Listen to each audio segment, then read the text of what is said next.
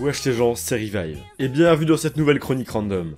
Une chronique random assez particulière et exceptionnelle, puisqu'aujourd'hui, je ne vais pas vous parler d'un manga ou d'un animé, non, mais bien d'un jeu vidéo.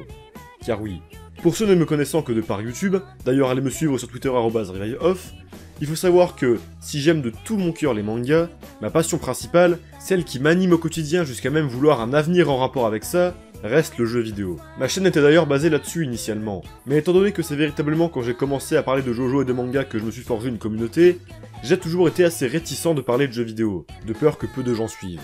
Il y a bien des lives réguliers sur Dark Souls ou Resident Evil, ou encore les top 5 annuels, mais ça fait très longtemps que j'avais envie de faire une vraie review slash critique d'un jeu vidéo qui m'a marqué, avec l'écriture que j'ai acquise avec toutes ces vidéos sur mes mangas préférés. Ainsi, et maintenant que je sais que j'ai une communauté fidèle, j'ai décidé d'enfin me lancer, avec une première chronique random dédiée à un jeu que j'adore, et dont j'étais obligé de parler tant je déborde de passion à son égard. Ce jeu-là, c'est Persona 4 Golden. J'ai découvert la série des Persona lors de l'été 2020 avec l'incroyable Persona 5 Royal, dont j'ai d'ailleurs fait une mini-review dans mon top 5 jeux 2020 pour ceux que ça intéresse, puis j'ai enchaîné avec le très bon Persona 5 Strikers, pour enfin faire Persona 4 Golden lors de cet été. Si j'ai autant attendu, c'est parce que, d'une part, j'ai un certain affect et un certain feeling avec ces jeux qui me poussent à les faire pendant l'été, tranquillement, et surtout, car le jeu n'étant disponible qu'en anglais, j'étais assez réticent étant donné que si je me démerde, j'ai toujours peur de passer à côté de certains détails importants. En plus, le jeu possède énormément de texte, donc c'est forcément plus pratique dans ma langue natale. Mais ce serait sans compter sur la team de traduction amateur Projet Golden, qui a abattu le travail colossal d'une traduction complète du jeu en français, et d'une qualité quasi irréprochable, sur laquelle je reviendrai évidemment lors de la review. J'ai donc attendu la sortie de la traduction et le début de l'été pour me lancer. Allez, j'arrête de raconter ma vie. Avant toute chose, sachez que, fan de Jojo, ce jeu s'adresse aussi à vous, donc restez.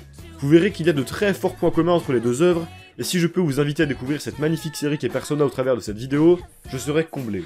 Pour ce qui est de la structure de cette chronique, je vais faire les choses bien. En l'occurrence, je commencerai par faire une présentation globale du jeu et de son synopsis, ensuite je parlerai plus profondément du gameplay puis de son scénario, avec évidemment quelques balises de spoil, ne vous inquiétez pas, pour finalement arriver à ma conclusion et mon avis sur le jeu. La vidéo est assez longue, car elle s'adresse aussi bien aux personnes ayant fait le jeu voulant découvrir mon avis dessus, qu'à ceux ne connaissant pas la série et voulant la découvrir. C'est donc pour ça que je détaillerai chaque point. Ah oui, et je précise que je vais beaucoup comparer avec Persona 5, vu que c'est mon seul point de comparaison pour l'instant, donc j'espère que je ne m'attirerai pas les foudres des puristes en esquivant les trois premiers jeux. Sur ce, il est temps de s'arrêter un instant dans la petite bourgade d'Inaba, théâtre d'événements pour le moins étrange.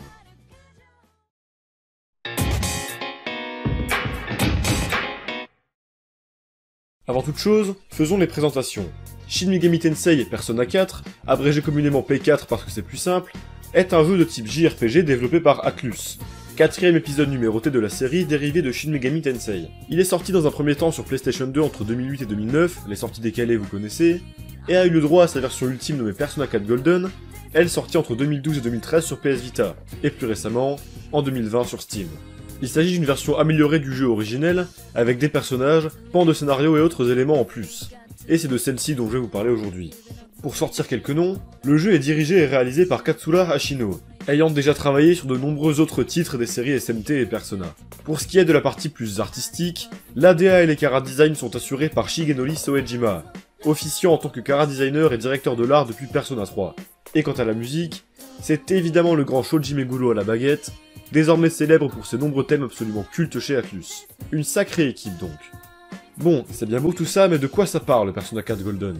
On incarne un jeune lycéen nommé Soji Seta, ou Yuna Lukami, bref, on sait pas trop, mais vous lui donnez le nom que vous voulez de toute façon.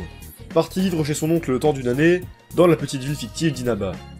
Mais, dès son arrivée dans son nouveau lycée, il se rendra vite compte que cette petite bourgade à première vue tranquille cache de bien sombres secrets. Puisqu'en effet, il aura vent grâce à ses nouveaux camarades d'une étrange rumeur à propos d'une chaîne apparaissant à minuit lors des nuits pluvieuses sur une télévision éteinte, et qui montrerait une étrange silhouette. De plus, le jour même de son arrivée débutera une série de meurtres, dont les victimes finiront systématiquement pendues aux antennes des télévisions de la ville, et ce, toujours après l'apparition d'un épais brouillard. Plus tard, le héros et ses amis feront la découverte d'un monde parallèle se trouvant de l'autre côté de la télévision, peuplé de créatures maléfiques et hostiles nommées ombres, qu'ils affronteront avec la manifestation matérielle de leur esprit, leur persona. Il sera également révélé que les silhouettes apparaissant sur la chaîne de minuit sont en réalité les profanes victimes de ce mystérieux tueur en série. Qui se cache derrière cette série de meurtres? Et quels sont ses objectifs? Quel est cet étrange monde de la télé? Notre groupe de héros en constante expansion va donc se lancer dans une quête de vérité en enquêtant dans la petite ville d'Inaba tout en essayant de sauver les victimes à temps en partant dans le monde de la télé, sans pour autant oublier de profiter de leur vie de lycéen. Une aventure extrêmement bien écrite et rythmée, oscillant entre l'épique, l'enquête et le drame, et qui nous fera nous questionner sur les médias et leur influence sur les gens, sur l'acceptation de soi, et autres thématiques profondes, au travers de nombreux personnages au développement évocateur. J'espère que mon petit résumé fait avec amour vous aura plu, et vous aura donné envie de vous y intéresser, ou au moins de continuer la vidéo pour en découvrir plus sur le jeu. Maintenant, comment est-ce que ça se joue?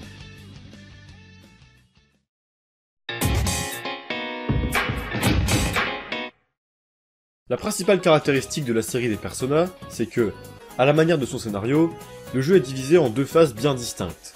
Vie IRL et aventure dans l'autre monde, toutes deux liées entre elles par divers éléments de gameplay. Tout d'abord, je vais revenir sur la partie IRL, qui est la plus importante, puisque c'est à partir de celle-ci qu'on influera directement sur l'autre monde, et celle dans laquelle on passera le plus de temps en réalité. Dans cette partie, on vit donc dans la peau d'un lycéen, et ce, au jour le jour. On devra en effet se conformer à un calendrier réparti sur un an, dans lequel des jours seront dédiés entièrement à l'avancée du scénario, ou autres événements tels les examens semestriels mettant à l'épreuve votre écoute lors des cours, ou autres fêtes traditionnelles faisant avancer les relations entre les personnages. Mais surtout, en grande partie des jours libres, dans lesquels on devra efficacement répartir son temps pour faire diverses activités. Ces activités nous serviront à nous préparer pour les phases dans l'autre monde, en faisant des actions dans le monde réel, qui influeront sur les stades de nos personnages et autres éléments. Ça peut paraître un peu abstrait, donc je vais vous décrire le déroulé d'un arc habituel du jeu. En gros, comme j'ai pu l'expliquer dans le résumé, le but de nos héros sera de sauver les victimes apparues à la télévision avant que ces dernières ne soient tuées. Pour ce faire, ils vont devoir aller dans le monde de la télévision et venir à bout d'un donjon, et ce, avant une date butoir, ou deadline, en l'occurrence, avant la prochaine nuit pluvieuse, car c'est à ce moment que la victime mourra. Il faudra donc scruter la météo pour prendre connaissance de la deadline, afin d'éviter un game over. Et donc, avant cette deadline, on pourra répartir notre temps sur plusieurs jours, généralement plusieurs semaines, avant d'être fin prêt pour aller dans le monde de la télévision afin de sauver la victime. Mais alors, qu'est-ce qu'on fait de notre temps libre? Déjà, il y a les actions qui ne prennent pas de temps, comme les classiques achats d'objets et d'armes, ou encore les différents dialogues évolutifs avec les PNJ, qui permettent intelligemment de voir l'évolution des mentalités des habitants par rapport aux différents événements au cours du jeu. Les rumeurs qui tombent chez les élèves, les ragots, les peurs, les relations qui évoluent, etc. Ou encore pour accepter diverses quêtes annexes peu intéressantes, mais qui ont le mérite d'offrir quelques objets sympas en récompense et de nous faire expérimenter tous les aspects du jeu. Ce seront globalement des quêtes FedEx du genre. Va retrouver mon portefeuille, ou va me chercher un objet que drop un ennemi particulier à base d'indices pas toujours très malins pour éviter de niquer la cohérence du jeu. Parce que ouais, les PNJ ne sont pas censés connaître l'existence d'un monde dans la télé, du coup des fois ça sort un peu de nulle part. Mais bref, je divague. Mais surtout, on pourra occuper notre temps avec des actions qui le font passer, et en l'occurrence, on aura le droit à deux de ces actions par jour, une l'après-midi et une le soir, chaque période de la journée en offrant des différentes. Le jeu intègre un système de stats sociales, au nombre de 5 différentes, qui, en montant de niveau, débloquent l'accès à de nouvelles activités ou de nouveaux personnages à qui parler. Ainsi, on pourra les augmenter en faisant de petits boulots, certains déboulant de nouvelles rencontres, en allant étudier la bibliothèque, en allant relever le défi du bol de nouilles Aya un jour pluvieux, ou encore en lisant différents livres chez nous le soir, augmentant certaines stats en particulier. Ces stats, en plus de flex, nous permettront notamment d'engager la conversation avec certains personnages, du cast de héros ou même plus secondaires, afin de débloquer les véritables éléments les plus importants de ces phases IRL, les social links. Arrivés dans la série depuis Persona 3, les social links sont la mécanique phare de la série Persona, la faisant encore plus s'émanciper de sa série mère, Shin Megami Tensei. En gros, c'est une mécanique reprise du dating sim, qui consiste à passer du temps avec le personnage de notre choix pour augmenter notre relation avec ce dernier, et ce, en faisant les bons choix de dialogue lors de petites scénettes. Ces scénettes sont divisées en 10, qui correspondent aux 10 niveaux de social link. Il y a deux principaux intérêts à faire monter ces niveaux. Déjà, bah, en savoir plus sur les personnages au travers d'intrigues vraiment intéressantes, amenant toujours à un développement du personnage en question seulement accessible grâce au social link. Le jeu regorge de personnages extrêmement bien écrits et touchants, que ce soit aussi bien les personnages du cast principal que l'on apprend à connaître lors de scènes plus intimistes, que les différents personnages secondaires de la ville d'Inaba, pour la plupart vraiment intéressants, et qui traitent tous de sujets non évoqués dans la trame principale du jeu. Ça parlera notamment de paternité difficile avec Dojima, de la difficulté du deuil et du traitement extérieur qui en découle avec Naoki, de la pression subie due à la succession de l'entreprise familiale avec Yukiko, de la difficulté de sortir du monde des idoles avec Rise, et encore des dizaines d'autres. Offrant un très large éventail de sujets toujours très bien traités. L'écriture de ces social links est vraiment excellente, avec une évolution mentale graduelle des personnages au fur et à mesure des niveaux passés, crédible et touchante à chaque fois. Évidemment, Dating Sim oblige, vous pourrez aussi choisir l'élu de votre cœur en montant le personnage féminin de votre choix au rang 10, débloquant diverses scènes supplémentaires à l'occasion de Noël ou de la Saint-Valentin par exemple. Cependant attention, si vous êtes infidèle, ces scènes, vous n'y aurez pas accès. Alors soyez un homme de valeur et choisissez bien. Bref, j'ai été un peu long mais voici ce à quoi servent les social links en termes de narration. En l'occurrence, développer des thèmes et personnages du jeu en dehors de l'intrigue principale. Maintenant, ces social links ont évidemment un intérêt en termes de gameplay. Et c'est là où je vais introduire la deuxième notion que partage la série des Persona en commun avec Jojo, après le concept de stand slash persona, les arcanes du tarot. En effet, les social links seront au nombre de 23, comme globalement le nombre d'arcanes majeurs du tarot, avec quelques écarts. Ainsi, chaque personnage est lié à une arcane particulière. D'ailleurs, comme dans Jojo, ça a toujours une signification assez symbolique. Et là, comme je ne dois pas empiéter sur la partie gameplay dans l'autre monde pour le moment, je vais devoir rester concis et nébuleux. Rassurez-vous, j'y reviendrai après. En gros, le jeu possède un système de recrutement et de fusion de personnages. Et chacune des personnages possède un type, qui n'est pas du genre eau ou glace, mais qui sont en réalité les arcanes du tarot. Ainsi, lorsque vous montrez par exemple le social link du chariot, lorsque vous ferez une fusion de personnages de type chariot, cette dernière aura un boost d'expérience, proportionnel au niveau du social link. Ah oui, et aussi, monter les social links des membres du groupe de héros permettra, une fois maxé au niveau 10, d'accéder à deux améliorations de leur persona, changeant de design et leur permettant d'accéder à leur attaque signature. Ils débloqueront aussi des capacités exclusives en atteignant certains niveaux de social link. Il est donc très utile de monter le niveau des social links pour faire des personnages plus puissantes, et donc avoir un certain avantage au combat. Et là c'est le moment où les joueurs de Persona 5 vont dire Quoi? C'est tout? Parce qu'en effet, dans le dernier jeu de la série, en plus de donner ces fameux boosts d'expérience à ces évolutions de Persona, monter de niveau les social links permet de débloquer diverses compétences. Avec par exemple un social link basé sur le gain d'XP, un autre sur les armes à feu, etc. Je dois avouer que ça m'a un peu perturbé au début du jeu. Et je sentais qu'il y avait quelque chose qui manquait, mais bon, en vrai c'est excusable. Parce que déjà ce n'était que le deuxième jeu de la série à intégrer cette mécanique, et que voir les incroyables développements de ces personnages m'aura suffi à apprécier le système et à passer le plus clair de mon temps à augmenter mes niveaux de social link. Par contre, si j'ai quelque chose à reprocher à ce système, c'est que, temps limité oblige, à moins que vous négligiez tout le reste, et encore je suis même pas sûr que ce soit suffisant, il est impossible de terminer tous les social links en une seule partie. C'est assez terrible, surtout quand on voit le nombre de personnages excellents qui ont l'air d'avoir des histoires superbes, et certains autres qui démarrent lentement, mais qui s'avèrent particulièrement bons avec le temps, et à côté desquels on passera. On ajoute à ça le fait que certains social links sont indispensables pour accéder à la vraie fin du jeu, et un autre en particulier offrant des avantages quasi indispensables en combat, salut Rissé, et on se retrouvera finalement à se limiter dans nos choix de personnages en accès, nous obligeant à faire une deuxième run pour tous les découvrir. Personnellement, j'ai à peu près maxé tout ce que je voulais sauf Yosuke, que j'ai échoué au niveau 9, et ça m'a détruit pendant des jours. Désolé Yosuke. Ah ouais, des fois ils sont super longs à monter pour rien. Il suffit que tu rates une seule réponse, et t'es parti pour parler deux ou trois fois au perso pour rien, avant d'enfin atteindre le niveau suivant. Enfin voilà, vous avez donc compris que gérer son temps est le mot d'ordre de ces phases IRL, et que c'est vraiment très cool de se mettre dans la peau de notre personnage vivant sa vie de lycéen. J'en oubliais même que je jouais à un jeu vidéo parfois, tellement je prenais ça au sérieux et je m'investissais. Toute proportion gardée évidemment, mais c'est juste pour dire que c'est très bon pour l'immersion. Et ça, c'est un sacré point fort. On pourra même se connecter à internet pour voir ce qu'ont choisi de faire les gens tel jour, à la manière de Persona 5, et c'est amusant de remarquer qu'au fil du temps les activités deviennent moins variées, étant donné qu'arrivé aux deux tiers du jeu, les stats sociales seront très souvent maxées. Et on se retrouve donc à ne pas savoir quoi faire par moment, surtout lors des jours de pluie où aucun social link n'est disponible. Ajoutez à ça le fait qu'il n'y a aucune musique lors du temps pluvieux, et on se sent bien seul. Bon, c'était particulièrement long, mais étant donné que c'est vraiment la partie principale du jeu qui influera directement sur nos actions dans l'autre monde, je pense que c'était nécessaire de bien tout expliciter. Maintenant, on quitte les simulations de vie et les visuels novels pour aller taper du monstre au tour par tour. Si vous aviez toujours pas compris que c'était un jeu japonais, je pense que c'est maintenant clair. Les phases dans le monde de la télé donc. On peut choisir d'y accéder à tout moment depuis un certain endroit d'Inaba, et c'est ici qu'on avancera dans les donjons pour résoudre les quêtes annexes et évidemment faire avancer le scénario principal. Le gameplay dans le monde de la télé se présente donc comme un dungeon crawler, à savoir de l'exploration de donjons générés de manière procédurale, et ce, sur généralement 10 étages jusqu'à arriver au boss. Pour ceux qui n'ont joué qu'à Persona 5, c'est exactement comme le Mementos si vous voulez. Et donc, vous l'avez compris, à la différence de Persona 5, on n'aura pas des donjons remplis d'énigmes au level design et des corps complexes, mais simplement des couloirs avec des intersections, entouré de murs en accord avec le thème du donjon. Ouais, je vous l'accorde, quand on sort des palais grandiloquents et hauts en couleur de P5R, ça fait un peu pas le figure. On peut donc remercier Persona 5 d'avoir intégré de vrais bons donjons, tout en gardant un aspect dungeon crawler à l'ancienne avec le Mementos, pour ne pas décevoir les amateurs et permettre le farm. C'est vraiment une excellente idée. Bref, pour revenir au donjon de Persona 4, oui c'est dommage, mais non ce n'est pas vraiment catastrophique. On retrouve quand même des donjons à thème, symboliquement en accord avec le maître du donjon, avec des décors et OST appropriés. J'ai dit le terme maître du donjon. Ça doit sûrement faire peu de sens pour ceux ne connaissant pas la série, mais rassurez-vous, j'y reviendrai quand je parlerai plus en profondeur du scénario. Enfin voilà. Tout ça pour dire que même si l'absence d'un vrai level design fait un peu chier, on garde la symbolique qu'avaient les palais de Persona 5. Peut-être un peu moins accentuée, mais elle est quand même là.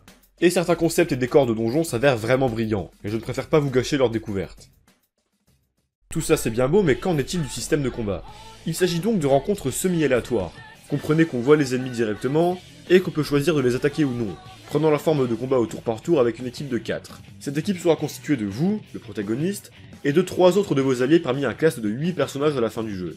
Chaque personnage se bat avec sa persona, possédant des compétences bien distinctes, et en apprenant au fur et à mesure qu'elle monte de niveau. Parmi celles-ci, des habituels buffs et debuffs, du genre augmenter son attaque pendant 3 tours, ou réduire la défense de l'ennemi par exemple, des sorts de soins, des attaques physiques, mais surtout, des attaques élémentaires. Puisqu'en effet, la principale mécanique des combats de Persona, et plus globalement de la série des Megaten, repose sur une exploitation de la faiblesse de l'ennemi. On va donc se retrouver la plupart du temps à analyser la faiblesse de l'ennemi en utilisant la compétence adéquate, ou tout simplement en essayant toutes les magies élémentaires pour voir à laquelle l'ennemi est faible, en touchant cette faiblesse respective de tous les ennemis face à nous, ou encore en mettant un coup critique à base d'attaque physique, l'on pourra déclencher un assaut général, moment où tous les personnages se mettront à attaquer tous les ennemis en même temps, causant de très lourds dégâts, et, pour les rencontres aléatoires du moins, mettant assez souvent fin au combat. La petite nuance, c'est qu'exploiter les faiblesses des ennemis pour les mettre KO un à un, eh ben on n'a qu'un tour pour le faire. Sinon quoi, ils se relèveront dès le tour suivant, et il faudra alors recommencer à exploiter leurs faiblesses. D'où l'intérêt de constituer une équipe polyvalente, ayant accès à toutes les magies élémentaires. Et c'est là où la principale mécanique des Megaten va entrer en jeu, la fusion et le recrutement de personnages, ou de démons, t'appelles ça comme tu veux. Car oui, si chaque allié correspond globalement à un type de magie élémentaire ou un style de jeu avec seulement une persona à disposition, notre héros, lui, peut en utiliser plusieurs, en changeant à loisir parmi une dizaine en plein combat, ce qui va grandement complexifier la chose. Ces personas, il pourra en obtenir lors de tirages de cartes à la fin des combats, à côté des bonus d'XP et d'argent, et autres types de cartes facilitant la progression. Et oui, pour les fans de Persona 5 et Shin Megami Tensei, pas de système de recrutement de démons à base de dialogue ici. C'est remplacé par ce fameux système de tirage introduit avec Persona 3, très simple à appréhender, et plutôt intéressant, étant donné qu'il y a différentes manières d'optimiser son tirage pour dégoter les meilleures cartes. Il y a plein de subtilités à prendre en compte dans ce système, et ça permet d'offrir un intérêt en plus à la fin des combats. Car oui, ici on se contente pas de skipper un écran de récompense, étant donné que ça va être à nous de venir les choisir ces récompenses. Bonus d'XP, d'argent, nouvelles personas, augmentation des stats, il y a vraiment plein de cartes différentes, et c'est toujours un petit plaisir qui fait du bien à la fin de chaque combat. J'aime donc beaucoup ce système, même s'il amène un problème, ce ne sont pas les démons habituels de la série que l'on affrontera comme dans P5 et dans la mainline, mais, à la manière de P3, de simples ombres plutôt moches, et avec un nombre très réduit de design tout au long du jeu, si ce n'est des variations de couleurs. C'est extrêmement dommage de se priver de ce bestiaire pourtant si fourni. Et ça fait que les personnages que l'on obtient lors des tirages, bah elles sortent de nulle part, à la différence du système de négociation bien plus crédible et tangible. Mais évidemment, ce n'est pas tout. Puisque ces personnages obtenus, ce ne sont que du matériel brut, destiné à être fusionné dans la désormais culte Velvet Room. Il s'agit d'un lieu où l'on peut fusionner des personnages entre elles, généralement 2, parfois 3, 4 ou même 5, dans des fusions spéciales offrant les meilleures créatures du jeu. La fusion permet de sacrifier plusieurs personnages pour en obtenir une meilleure, à qui on aura la possibilité de faire hériter quelques compétences des anciennes personnages, en plus de celles natives à celles qui viennent d'être créées. C'est d'ailleurs à ce moment précis qu'est utile l'augmentation des liens sociaux. Si l'on veut faire une personnage de l'arcane du chariot par exemple, plus son social link sera élevé, plus le bonus d'XP qu'elle recevra après fusion sera élevé, ce qui permettra de créer des véritables monstres.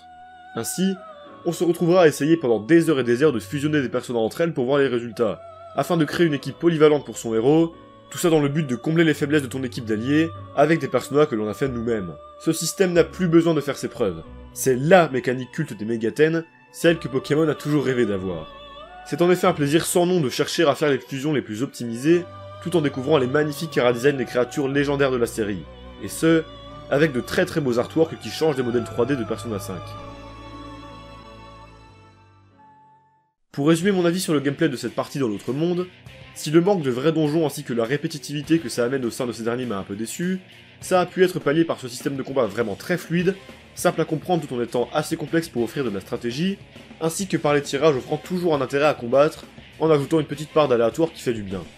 Perso ma routine c'était, je vais dans le monde de la télé pendant un jour par arc seulement, jour dans lequel je complète toutes mes quêtes annexes, et je finis le donjon d'une traite. Pendant mon ascension du donjon, j'en sortais de sous les deux étages pour faire mes fusions avec les nouvelles personnages récupérées, ce qui me donnait toujours un objectif à accomplir, et un petit plaisir régulier. J'ai juste deux petites choses à redire sur les combats. L'absence du système de transfert de Persona 5 me manque un peu, mais bon, vu que le jeu est sorti avant, c'est complètement excusable.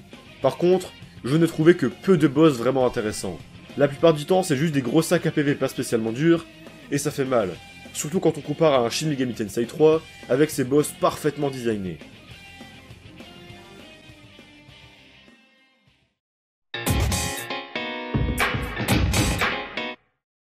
Voilà. J'en ai enfin fini avec ma description des deux différentes parties du jeu. Maintenant, je vais terminer cette critique de la partie gameplay avec quelques points par rapport à l'aspect technique du jeu. Visuellement, le jeu n'est pas une grosse claque. Les textures sont peu détaillées et les modèles des personnages font vraiment peine à voir. Mais c'est pas lié par de superbes artworks et surtout, bah à vrai dire on s'en fout. L'important dans Persona, et plus que dans n'importe quelle autre série, c'est évidemment sa direction artistique. C'est même grâce à cette dernière si je me suis lancé dans Persona 5, tant elle était incroyable et puait la classe à tous les niveaux. Ici, je dois bien avouer que le jeu se trouve à des années-lumière de son petit frère. C'est bien moins extravagant et classe. Mais ça reste tout de même très propre et assez original, de par les différentes très bonnes idées d'affichage en raccord avec le jeu, comme ce bouton de TV pour choisir les attaques, et les différents menus tout en teinte de jaune, qui, s'ils agressent la rétine au début, s'avèrent particulièrement esthétiques et très agréables à parcourir, suintant constamment la bonne humeur et la joie de vivre. On pourra aussi compter sur quelques cinématiques animées pour compenser les défauts techniques du jeu, plutôt sympas et qui permettent de bien apprécier les chara-design des personnages, mais qui se font malheureusement bien trop rares et trop courtes. Dernière chose un peu négative mais c'est purement personnel, je trouve que le menu de la version Golden fait pas le figure à côté de l'incroyable menu dynamique de Persona 4 Vanilla. Là où par contre le jeu fait sans problème aussi bien que Persona 5, c'est évidemment sur sa partie audio. Les seiyuu sont vraiment très bien choisis, et interprètent à merveille les personnages et leurs différentes facettes, en VO du moins. Sauf Rissé par contre, absolument insupportable, qui nous fera revoir les options de mixage audio de notre jeu. Mais surtout, surtout, la musique bordel, putain qu'elle claque Je ne saurais pas dire laquelle je préfère entre cette OST et celle de Persona 5, mais ce qui est certain, c'est que ça se joue de peu, très peu. Shoji Meguro est un dieu, et Shioko Hirata une déesse. Ces thèmes qui accompagnent à merveille nos balades dans la ville, avec un mélange de mélancolie et de légèreté.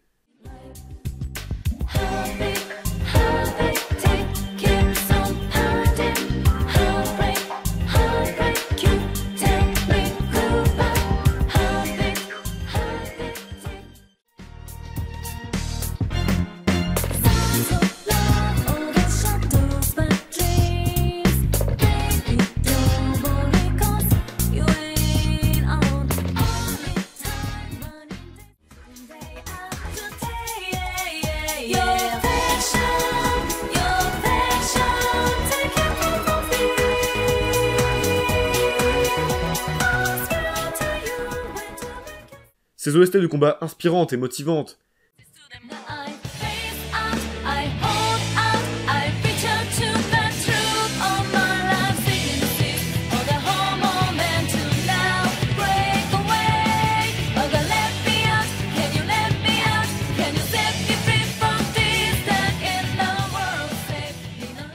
Ces mélodies de palais parfaitement en accord avec ce qu'il raconte.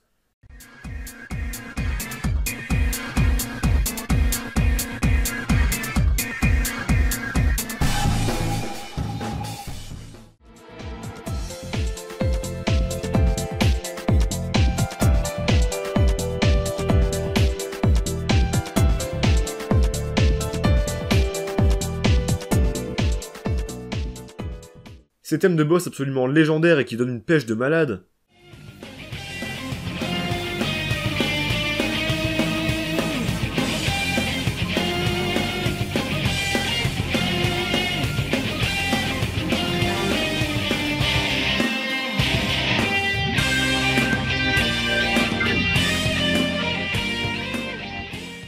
Mais aussi ces OST accompagnant le scénario, aussi bien triste avec une note d'espoir,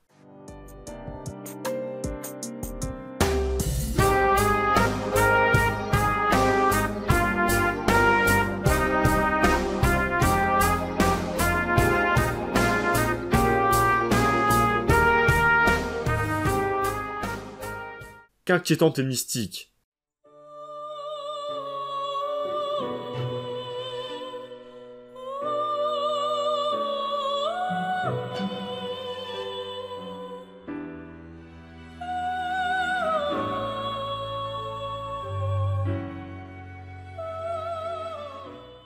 et qui parfois nous transmettent juste les vibes d'une bande d'amis soudés.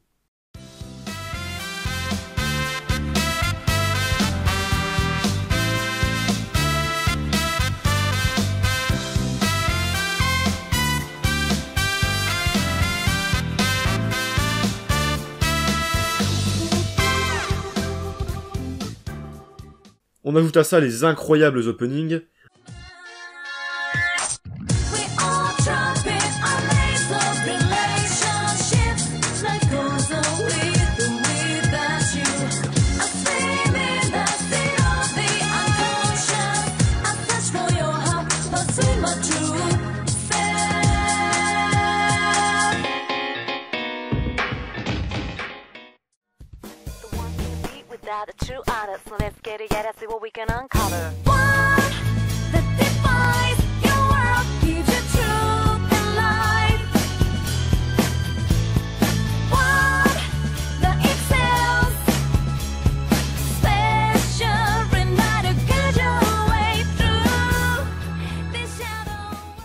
ainsi que l'exceptionnel trio d'OST final que je ne vous spoilerai pas, et ouais, on obtient une bande son catchy, attrayante et qui tape juste à chaque fois.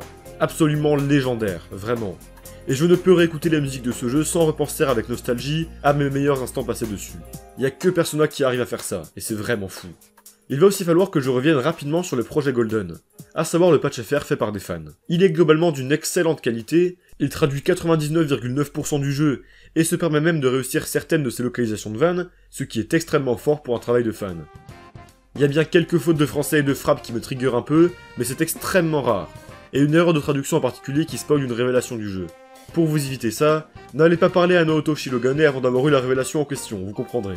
Par contre, il faut que je vous parle du réel problème du patch. Ce dernier a tendance à faire cracher le jeu lors des assauts généraux dans les donjons. Pour leur avoir demandé, il s'agit d'un problème indépendant de leur volonté et incorrigible pour le moment, étant donné que c'est dû au logiciel qu'ils utilisent pour faire tourner leur patch. Donc ce que je vous conseille, pour vous éviter de péter un câble comme moi après avoir perdu une heure de jeu, c'est de passer votre jeu en anglais dans les donjons à partir du deuxième. Vous avez juste à le lancer normalement depuis Steam, et non pas avec la méthode pour lancer la version française. Et vous récupérez vos sauvegardes sans problème. Peut-être que ce bug n'arrive pas systématiquement, mais je vous invite à prendre cette précaution peu handicapante, étant donné qu'il y a peu de dialogue important dans les donjons, on sait jamais quitte à repasser votre jeu en français pour le boss final, là où le scénario avancera. Mais vraiment, faites gaffe.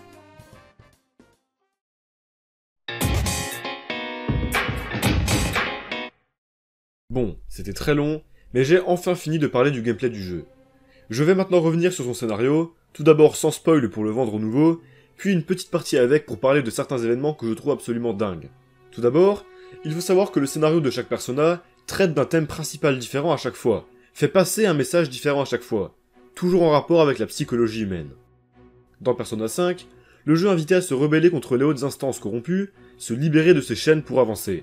Dans Persona 3, je n'ai pas encore fait le jeu, mais si j'ai bien compris de ce que j'ai pu voir, corrigez-moi si je me trompe, le jeu nous invite à accepter notre propre mort et relativiser à ce propos. Et dans Persona 4, je n'arrive pas à en ressortir qu'un seul, mais bien deux principaux.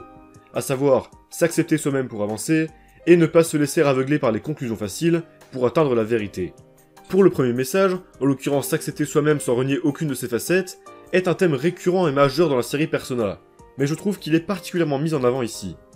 Tout à l'heure, j'ai évoqué brièvement le terme de maître du donjon. Je vais vous l'expliquer maintenant pour pouvoir développer. En gros, pour résumer la structure du jeu sans spoiler, à chaque fois que la prochaine victime apparaîtra sur la chaîne de minuit, on va se rendre dans le monde de la télé pour la sauver à temps. Parce qu'en gros, le mode opératoire du meurtrier, c'est de jeter les gens dans la télé et attendre le prochain brouillard. Car c'est à ce moment-là que les ombres du monde de la télé deviennent violentes et tuent ceux qui s'y trouvent, pour faire simple sans trop spoiler. Ce qui nous attendra dans ce monde, c'est un donjon représentant la face cachée de la victime, celle qu'elle renie et qu'elle n'arrive pas à accepter. Et le maître de ce donjon, eh bien c'est l'ombre de cette victime, représentant également cette facette reniée, littéralement donc la part d'ombre de la personne. Si par exemple une personne ayant l'air dure et violente cache une facette d'elle plus calme et attentionnée, son donjon ressemblera à quelque chose de doux, comme je sais pas, un lac tranquille ou n'importe quoi de calme. Et donc, à l'arrivée dans la salle de boss de chaque donjon, la vraie victime va confronter son ombre et la reniera à chaque fois. À ce moment-là, son ombre se transformera donc en un boss, avec une apparence encore en rapport avec la symbolique de sa face rejetée. Et lorsqu'on le battra, la victime acceptera enfin cette part de soi-même, ce qui lui fera développer sa persona. Une persona, selon Carl Jung, psychanalyste ayant inspiré la série et ses concepts, dont on trouve d'ailleurs une superbe explication dans les bonus du jeu, est un masque que l'on utilise pour vivre en société, comme une image sociale ne représentant pas forcément la personnalité de l'individu, pour faire simple. Ainsi, ce que font ces personnages concrètement et symboliquement, c'est de confronter une part d'eux-mêmes qu'ils rejettent, pour la transformer en une force, leur permettant de braver les épreuves de la vie. Ils rejoindront donc notre équipe avec leur persona nouvellement acquise. Encore une fois, c'est LA thématique centrale de Persona, mais c'est particulièrement mis en avant et réussi dans Persona 4. Vous l'avez donc compris, les boss que l'on affrontera seront donc toujours les ombres des alliés que l'on se fera au cours du jeu, sauf rares exceptions, notamment à la fin. Il y a donc moins d'antagonistes à proprement parler que dans Persona 5, car ce n'est pas ce que le jeu veut raconter. Mais évidemment, il y a l'antagoniste principal, histoire de meurtrier oblige. Et quand le jeu se décide de le mettre en avant, bordel que c'est réussi. Ce personnage est une sacrée réussite. Avec un mode de pensée et une personnalité fascinante, bordel que je l'adore cet enfoiré, mais je vous laisserai le loisir de le découvrir. Bref, tout ça va m'amener à parler du cast de personnages du jeu. Au nombre de 8 en comptant le héros, c'est selon moi l'un des plus gros points forts de Persona 4. A la différence d'un Persona 5 où certains étaient un peu en retrait au sein du groupe, Yoharu et Yusuke, ici, tous les personnages ont leur place et leurs interactions régulières avec les autres membres du groupe. On sent une réelle complicité et un soutien mutuel entre tous ces personnages. Et c'est notamment dû à un savant mélange de scènes d'investigation sérieuses, où chacun apporte ses réflexions et ses pistes pour faire avancer l'enquête, et de scènes de vie plus tranquilles, marrantes et aussi touchantes. Je trouve que l'humour du jeu marche très bien. Il y a énormément de running gags qui me tuent de rire comme la cuisine des filles ou le bakanji pour ne citer que, et les différents événements que vivront les personnages sont tous très agréables à suivre. Évidemment, on aura droit à la recette de base de Persona, le feu d'artifice, la sortie à la plage, la scène gênante dans les bains publics, tout est là, et encore des dizaines et des dizaines d'autres événements vraiment cool que je vous laisserai découvrir. On s'attache donc énormément aux personnages, et c'est un réel plaisir que de suivre l'avancée de l'histoire en leur compagnie. Ils auront tous droit à leur moment de gloire, ont tous leur mot à dire, une vraie cohésion. Je les aime aussi tous individuellement, oui, même Teddy. Ce qui fait que, bah ouais, des deux personnages que j'ai fait pour le moment, c'est très clairement le crew qui m'a le plus plu. Pas que j'aime pas le crew de P5 évidemment, mais je sais pas. Les personnages de P4 m'ont bien plus touché. Bon, Yosuke était un peu chiant à l'arrivée de Kanji dans le groupe avec des vannes un peu lourdes, mais c'est la seule chose que j'ai à redire sur cet incroyable cast de personnages. Bordel que je les aime. D'ailleurs, il y a un personnage central dans le jeu dont je suis obligé de parler. Inaba. Ouais, ce lieu est bien plus qu'une ville. Et véritablement un personnage à part entière que l'on apprendra à connaître au fil du temps. On découvrira aussi bien ses côtés chaleureux que ses côtés terrifiants, qui seront tous deux mis en avant au cours du jeu. Chaleureuse, car on s'y sent bien. Bah ouais, à force d'y passer autant de temps, on commence à la connaître par cœur, elle et tous ses PNJ. Voir les rumeurs se répandre chez les élèves du lycée, les habitants qui nous font part de leur tracas personnel et l'évolution de leurs pensées face à la situation inquiétante en ville, il y a ceux qui sont confiants, ceux qui ont peur. Tout ça fait que la ville paraît véritablement crédible, et on en apprendra toujours plus sur elle au fil de nos balades. On ajoute à ça la brillante idée de nous mettre dans la peau d'un lycéen partant chez son oncle pour un an, dans un endroit qui lui est totalement inconnu, qui est juste parfaite pour l'immersion, et on finit par se sentir comme dans sa deuxième maison à Inaba pendant notre partie de Persona 4. Et c'était nécessaire pour un jeu de ce type. D'ailleurs, on ressent le même sentiment de tristesse quand le héros doit quitter la ville et quand nous devons quitter le jeu, mais j'aurai le temps d'y revenir. Mais il s'agit également d'une ville qui cache un mal terrifiant, et qui peut vraiment faire peur quand il le faut. C'est vrai, une petite ville de campagne comme celle-ci peut être synonyme de vacances et de réconfort, mais peut être aussi étouffante, angoissante, propice aux crimes en tout genre, et surtout aux meurtres en série. Le jeu sait parfaitement nous montrer ces côtés-là de la ville, avec l'angoisse en brouillard et autres événements que je ne divulguerai pas, mais on sent que la menace rôde et pourrait nous tomber dessus à tout moment. C'est ce subtil mélange entre réconfort et terreur qui fait d'Inaba une telle réussite. C'est d'ailleurs là où les fans de Jojo auront tiqué pour la troisième fois de la vidéo, parce qu'en effet, c'est très similaire à la ville fictive de Morio, dans Diamonds Unbreakable. Le ton du jeu est d'ailleurs très similaire, en mode un groupe de lycéens qui cherchent à traquer un mystérieux tueur en série, qui se révélera être complètement malade. Avec une ambiance oscillant entre le glauque et le léger. C'est d'ailleurs l'un des points qui m'avait le plus attiré dans le jeu, étant particulièrement fan de cette partie. Et je ne suis pas déçu. Si vous avez aimé Du, vous aimerez PKG. Bref, je divague, sachez aussi que les révélations de fin du jeu confirmeront le statut de personnage à part entière d'Inaba. Mais je vous laisserai évidemment le découvrir par vous-même. Et tant que je parle de révélation, il va évidemment falloir que je revienne sur la construction du récit de par l'avancée de l'enquête. Ce qui m'a le plus plu dans le scénario de Persona 4, c'est sa très habile manière de nous mettre sur des fausses pistes à chaque fois. Même moi qui avais été spoil de l'un des plot twists principaux du jeu, bah ça a marché. Je me demandais même parfois comment c'était possible qu'on en arrive à une telle révélation, tant tout semblait pointer vers autre chose. Et ce qui est fort, c'est que tout est parfaitement cohérent et bien ficelé du début à la fin. Aucun plot twist ne paraît grotesque et sortant de nulle part, tant tout était sous nos yeux depuis le début. Mon cerveau a donc été retourné maintes et maintes fois, et c'est une sacrée réussite du jeu, qui possède décidément une écriture exemplaire. Il y a certains moments où vous resterez collé à votre écran pendant des heures tant c'est prenant, et tant il se passe des dingueries. C'est juste incroyable et carrément au niveau du plot twist de P5, si ce n'est encore plus impressionnant. Et c'est d'ailleurs là où je voulais en venir avec le deuxième message du jeu que j'ai évoqué tout à l'heure. Ne pas se laisser influencer par les conclusions rapides et trouver la vérité par soi-même. Ou plutôt, raisonner logiquement sans se laisser berner par ses émotions pour ne pas faire d'erreur.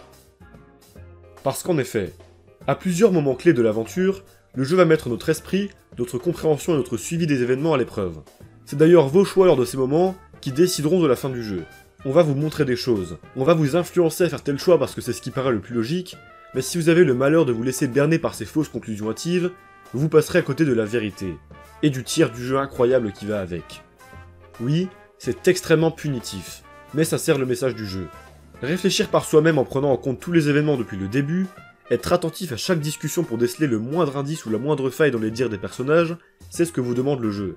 Enquêtez la manière des héros, de votre côté, en mettant de côté vos émotions, qui seront pourtant fortement mises à l'épreuve à un moment afin de mériter d'accéder à la vraie fin et à la vérité avec. Cela dit, même si je trouve ça brillant, j'avoue que le nombre de bad endings qui existent est colossal, et que les choix qu'il faut faire pour atteindre la vraie fin sont parfois un peu abusés. Malheureusement, si vous voulez accéder à cette fin, je pense que le moyen le plus sûr est d'accéder à une soluce pour vous assurer de ne pas tomber sur une de ces bad endings absolument terribles et déprimantes. Cela dit, faites attention.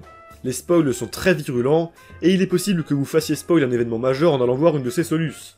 Pour vous éviter ça, sachez qu'il n'y a rien de spécial à faire avant le début du mois de décembre, si ce n'est monter un ou deux social links en particulier. Et c'est là où je vais brièvement entrer dans une partie spoil pour développer tout ça. Allez au timecode qui s'affiche à l'écran pour éviter ça. Je vous laisse 5 secondes.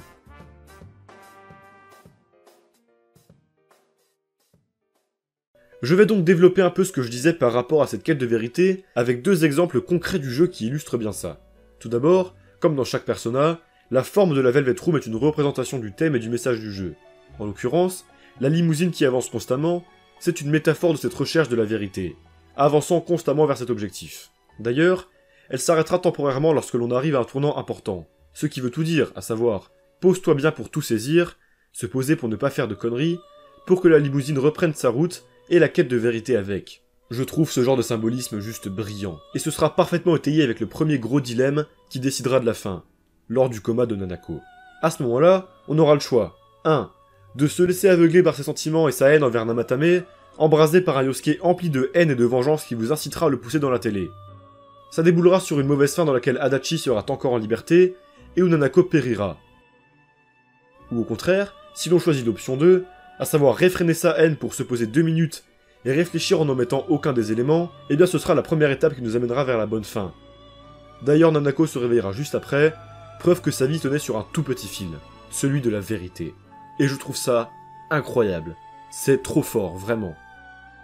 Il y aura aussi le même genre de dilemme pour accéder définitivement à la vraie fin du jeu, avec l'arrivée d'Izanami. Pour le coup, c'est moins axé sur les sentiments et moins fin, je trouve. Mais ça nous invite une fois de plus à ne mettre aucun des éléments étranges du jeu. Et surtout pas ce pompiste qui avait l'air chelou dès le début.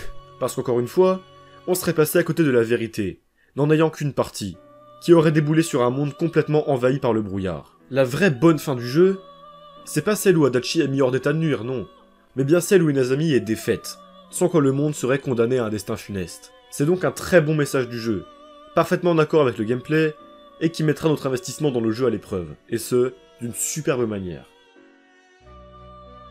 Je vais profiter de cette partie spoil pour dire que la fin où tu collabores avec Adachi, elle est incroyable. Elle est absolument terrifiante, et je trouve que c'est une excellente idée de l'avoir incorporée. Et la seule autre fin vraiment sympa, même si encore une fois, absolument horrible moralement. C'est vraiment à la fin où tu te dis Ouais, ok, Adachi c'est le meurtrier, mais c'est le bro quand même, il mérite pas ça. Incroyable. Voilà, fin de la partie spoil.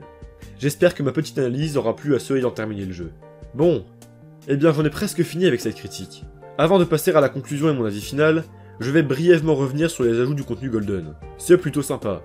Marie est un bon personnage avec un excellent social link, le donjon a un concept vraiment innovant, en plus d'un boss fight avec probablement mon OST préféré du jeu, les scènes ajoutées comme le séjour au ski sont vraiment bonnes. L'arc ajouté s'intègre mieux au scénario que l'arc royal de P5 selon moi, et surtout, l'ajout m'ayant fait le plus kiffer, le trimestre supplémentaire. Un gros gros kiff. Voir une Inaba enneigée avec l'incroyable OST Snowflakes, c'est juste incroyable. Et surtout, le temps ajouté régale tellement. J'ai pu maxer 3 social links grâce à ça. Ce qui était totalement impensable dans l'arc royal de P5, tellement le temps ajouté était minime. Pour finir avec la petite comparaison, je préfère Royal en termes de scénario et de personnages, mais niveau gameplay, Golden est vraiment mieux. Voilà.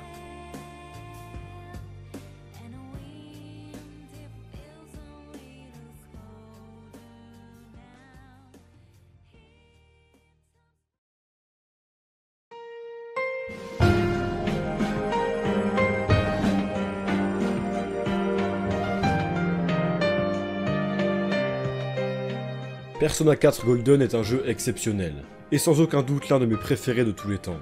Et pourtant ça m'arrive quasi jamais de dire ça, car bon sang que j'en ai fait des jeux. Une superbe direction artistique, des OST excellentes, un système de combat fluide et agréable mêlé d'une simulation de vie vraiment prenante, ces deux parties étant d'ailleurs liées très intelligemment. Une excellente durée de vie offrant plus de 100 heures de jeu en prenant son temps, un scénario complexe et traitant différents sujets d'une manière très juste avec un très beau message. Et ce, grâce à une écriture parfaite et des personnages crédibles et attachants. C'est une aventure remplie de symbolisme et de plot twists tous très bien pensés et cohérents, qui ont un impact très fort. Un jeu qui a quelques défauts, oui, comme ses quêtes annexes un peu random et le système de dungeon crawler qui sent un peu la flemme, mais qui m'a profondément touché, et qui me laissera un souvenir indélébile. La fameuse déprime post-persona s'est bien fait ressentir à la fin du jeu.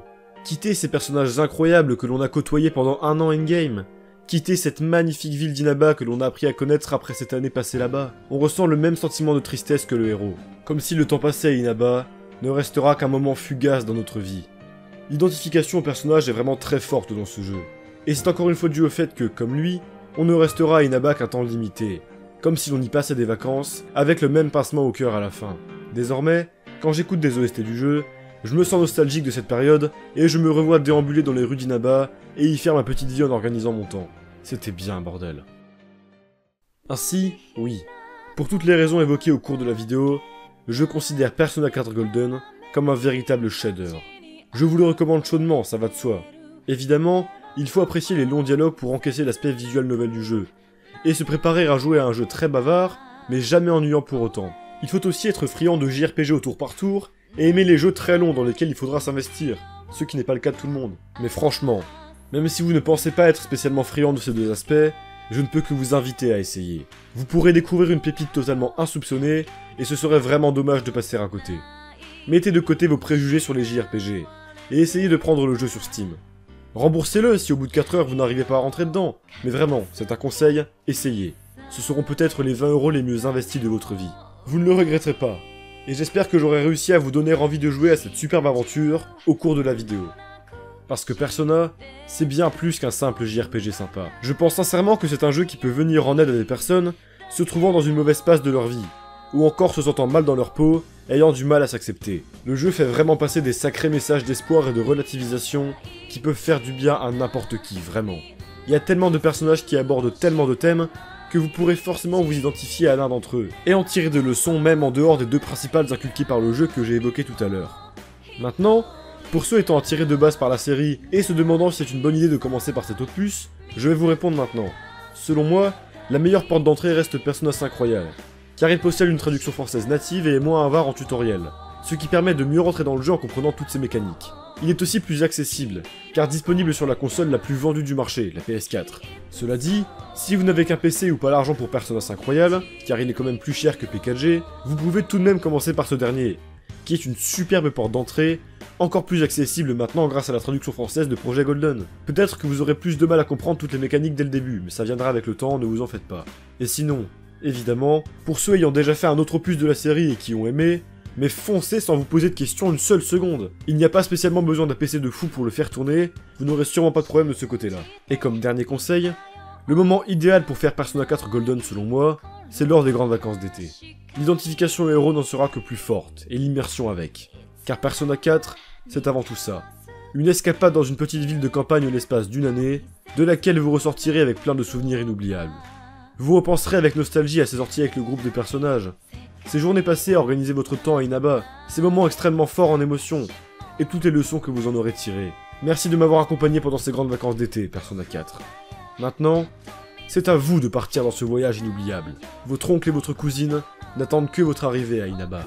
Quant à moi, j'attendrai l'été prochain pour m'occuper de toi, Persona 3. J'espère vivre, une fois de plus, une aventure fantastique.